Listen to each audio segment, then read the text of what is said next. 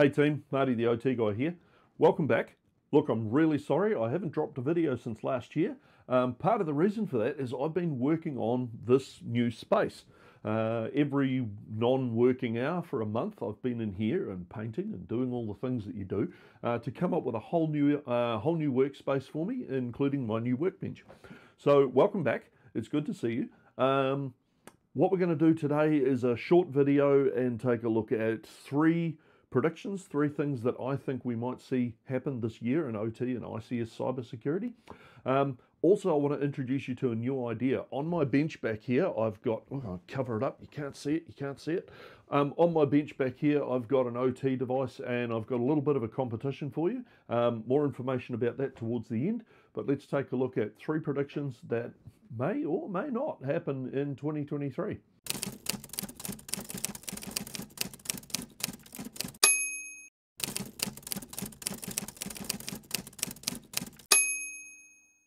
Prediction number one um, we're going to continue to see OT security incidents grow and increase throughout 2023.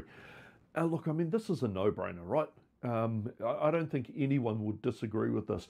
But what I'm seeing uh, and what I what I believe is happening is people are still not getting the basics right, and that's why some of these incidents are happening. Um, if if everybody had the the basic practices for good security in place, it probably would make it harder for these things to occur. Um, so yeah, the the takeaway from that is why don't spend why not spend 2023 getting your basics in place um, so that maybe you don't become a statistic.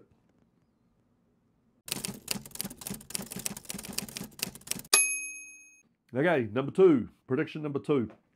Um, and this is based off what, what I noticed happening in the last, particularly the last six months of 2022.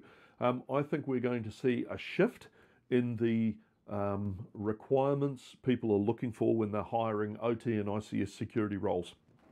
Towards the end of 2022, um, some colleagues and I, we noticed that OT and ICS security roles were now asking for candidates who specifically had um, OT engineering experience. So we're not talking about um, somebody who's had 10 years in IT and they've done a SANS ICS 410 and, and or an ICS 515 or maybe some 62443 training and going, yep, we're stepping into the OT field. People aren't looking for that. They're now saying, yes, we want those things, but you also need to have five to 10 years of actual OT engineering experience. You need to have programmed PLCs, worked on HMIs, um, worked with historians, network configuration, all of these things uh, are coming together. And the reason I think this change is happening is um, those companies that have got their basics right, they've got in, they've done their asset inventory, they've done their risk analysis, they understand where their business is, and they've made those easy and quick wins, are now finding that in order to increase their maturity to the next level, they need specialist capabilities. And that's where guys like me, guys with a background like mine, um, maybe that's where it's, it's our turn to really shine. Prediction number three. Recently, there was some news about a group that successfully managed to hack and uh, ransom an RTU. Um, I think we're going to see more of that. But I'm going to be maybe, I don't know, maybe a little controversial here. I don't actually care.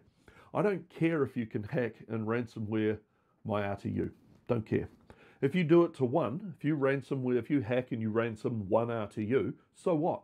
In my storeroom, I've got a few. I can have one programmed and swap out the dead one in probably under four hours. So it's not really a big deal. Now, do I care if you manage to ransom 10 or 100 RTUs? Yeah, that's going to hurt, um, but for a different reason. If, if you're able to ransom one, um, maybe that's a, a, hole in the net that we missed. If you're able to get to 100, refer back to prediction number one because somebody didn't do their basics correctly.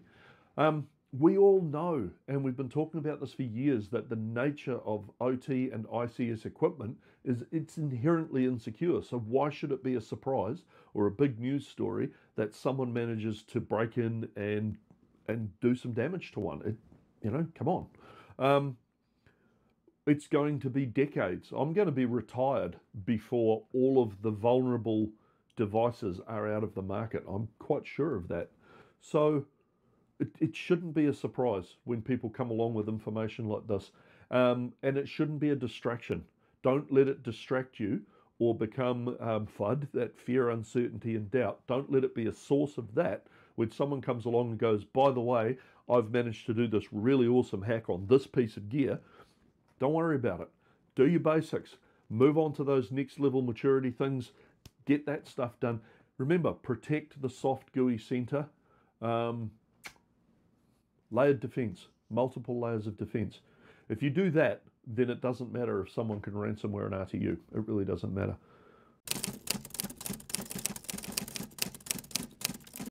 Okay, so on to the last part of this. So on my bench back there, I'm to try and hide it so you can't do zooms and close-ups and things, but on my bench back there, I have a piece of OT equipment.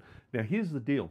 First person to correctly contact me and identify the five components that are on that rack, um, and I, I, don't just want, oh, it's uh, this, I want uh, manufacturer and I want model number. Manufacturer and model number for the five components that make up that rack sitting on my desk. I'll show you a still photo shortly to give you some help.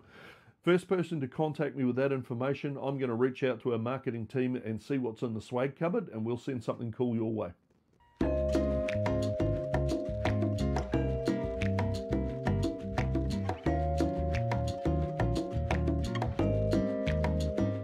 Finally, um, look, we'll be back with the regular videos with more how-tos and more investigation um, and uh, and helpful information about what we're doing at Nozomi Networks and how to use our products and how things work better. We'll be back with more of that information shortly. I uh, I've got a really full video um, calendar for this year. There's a lot of things people are asking me to do. It's going to be a really exciting year. And the whole idea of building this workbench is I can now go to a deeper level of technical. So we can start looking down inside some devices and see what we can find, um, play around with a few things, get a bit more technical rather than just you listening to me talk to this camera. And yeah, we can do a whole lot more. 2023 should be exciting. Let's do it together. Let's have a lot of fun. Uh, in the meantime, I'm Marty, the OT guy. Nozomi Networks, check us out if you haven't done so already. We are a really cool bunch of people to hang out with. Um, and if you're a customer of ours, you probably already know that. In the meantime, see you on the next video. Take it easy. Cheers. Bye.